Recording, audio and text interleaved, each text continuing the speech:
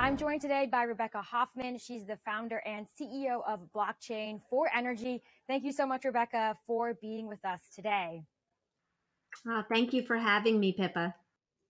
So, the energy sector is at a pivotal moment right now. Europe is rethinking its entire energy complex after Russia's invasion of Ukraine. So, starting here at a very high level, you help oil and gas companies incorporate blockchain technology why does this make sense for the industry during this pivotal transitional time?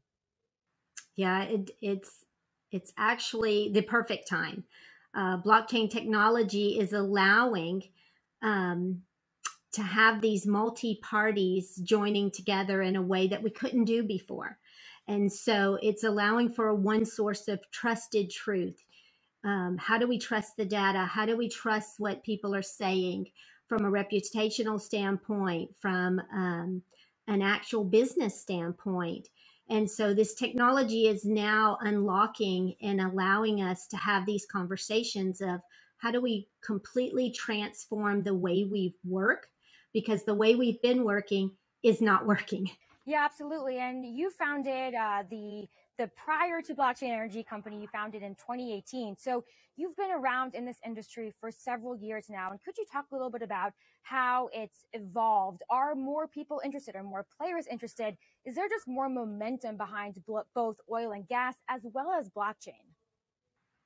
Yeah, that's right. Um, so blockchain, I think everybody's starting to know this, has actually been around for decade or more, right? And um, so Bitcoin is just one usage of uh, blockchain, and mining is just one way to prove out um, something happening.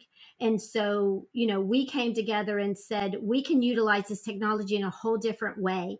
And we started off with just kind of conversational forums back in 2018. Um, after a year, we had over 18 operators um, and over 90 people coming every month to have these discussions. And so finally, I said, look, are we going to just keep talking about this or let's actually you know create a consortium and let's go and try to start building some of these solutions uh, because our companies and our industries need it need these new solutions.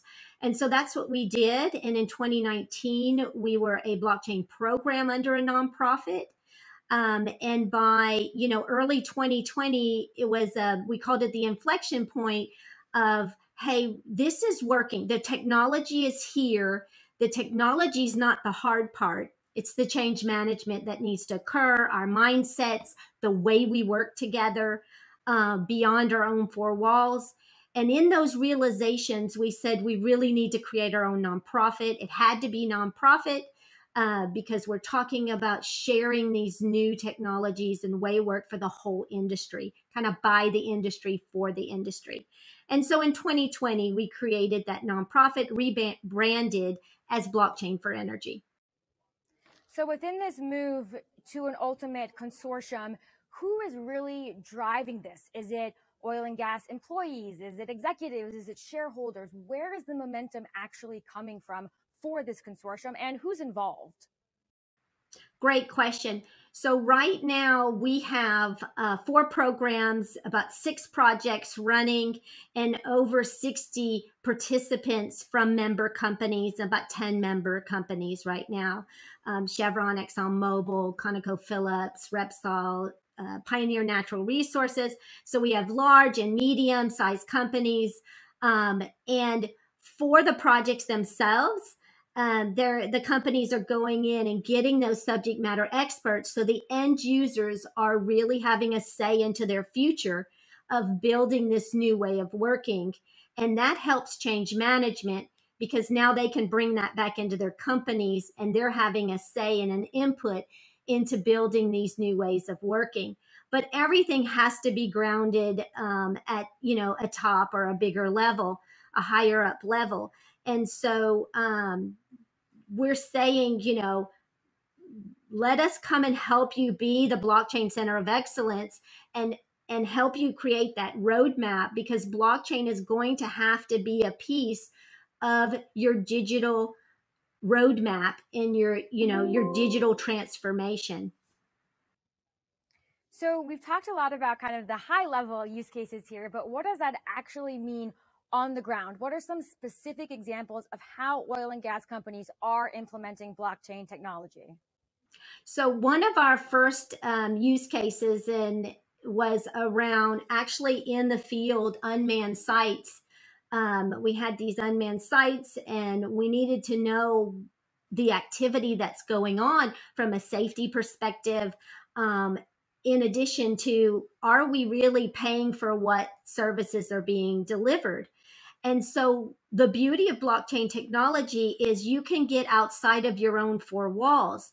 Right now, businesses are all about uh, being reactive, right? They're they're reactive to external factors, and they can only lean up and get more efficient within their own four walls. Blockchain technology is now allowing where we're actually taking the process through all the functions of one company, you know, one operator, and then pushing beyond that into, you know, in this um, example, the trucking company.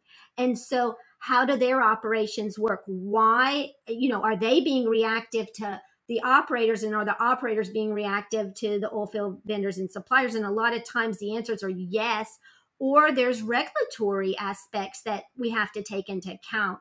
And how is that affecting us? So being able to kind of almost start over and remap the process um, through all parties involved and then create a blockchain that literally sits and that data then is visible in real time. It's trusted because it's cryptographically locked. So when the operator says, This is how many barrels I have, the trucking company says, I picked up this many barrels, you can easily let the computer do the work for you and say, within tolerance that we've agreed up front, does it match? Yes, just pay. And then everyone gets paid faster, the visibility's there, the trust is there because no one owns that database and everyone's having inputs into it. And those inputs then create and trigger the activity.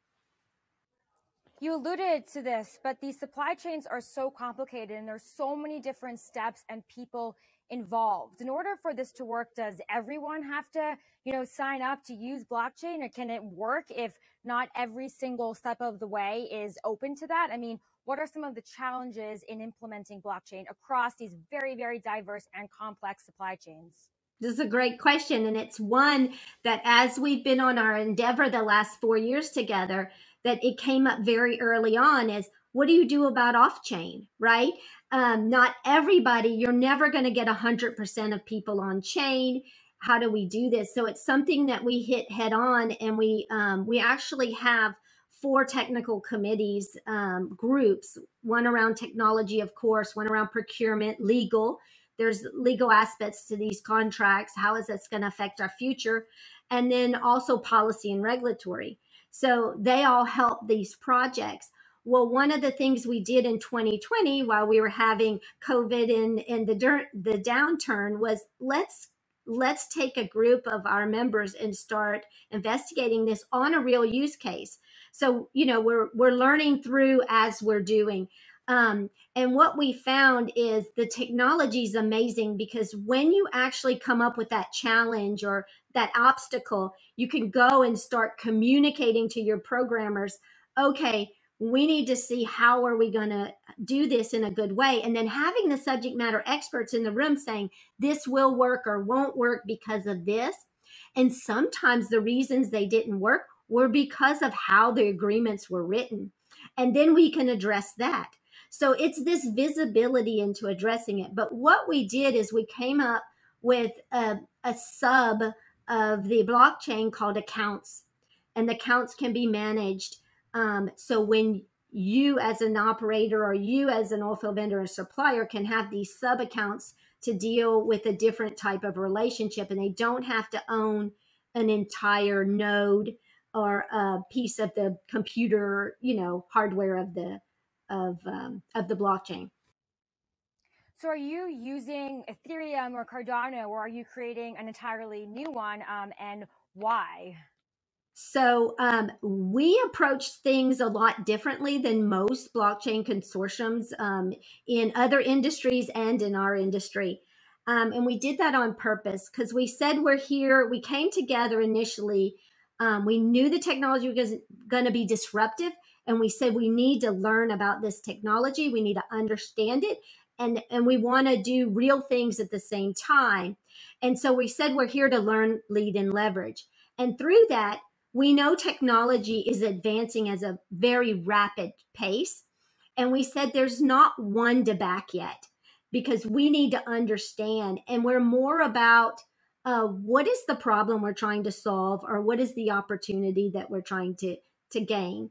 And so in that, we're more focused on that. And we said the technology is a tool. So understanding what Ethereum or Corda or Cardano or I mean there's there's thousands of them out there and there's public and private and permission based. I think everybody thinks blockchain is one thing, but it's not. It's many different things.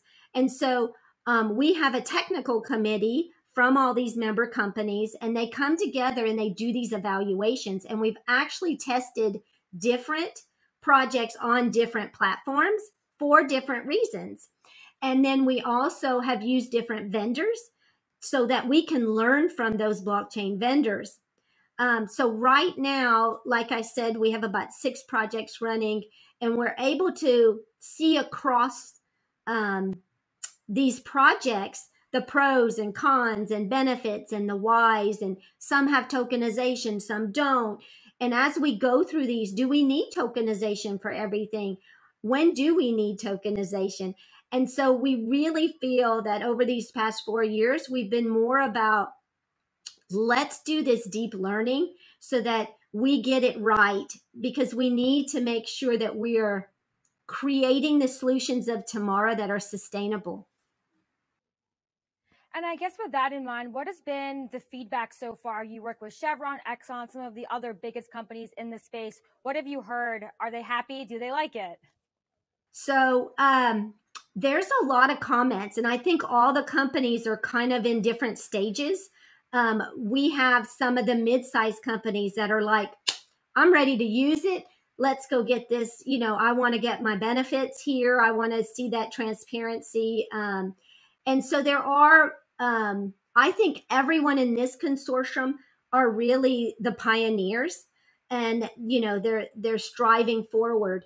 Um, but we have uh, just our very first projects are now leading to implementation grade. So we have the six projects are all in different phases. And so we're really excited um, that hopefully by the beginning of next year, you'll be seeing our members starting to use our first developments. Um, and sometimes we're partnering with other blockchain developers to help us create these things. And sometimes, you know, Blockchain for Energy is actually putting up their own uh, networks. And so you'll see just depending on what we're developing, um, we have different strategic reasons why we do things. And you mentioned implementing some of these new technologies during the 2020 downturn. And so much has changed for oil and gas since then. And the pandemic also brought up a lot of questions about ESG. We've seen a huge amount of focus on ESG. And oil and gas obviously has come under fire with ESG concerns. So, how is blockchain maybe alleviating some of that or helping the, comp- the sector kind of rebrand? Yeah, we're having a lot of conversations, and it and blockchain is coming up um, a lot around ESG. We actually, our board came um, to us and said, you know, it, with ESG, everybody has to help. I mean, scope one, two, and three, it affects all of us. And so we said, we're already together. How can we help? And so we started bringing together a work group to just kind of map out this green field. Um, it's not like any use case we ever have done because usually you have you know, an as is, and then you're going to create this new to be. Um, we're all having, as an entire industry, create that to be.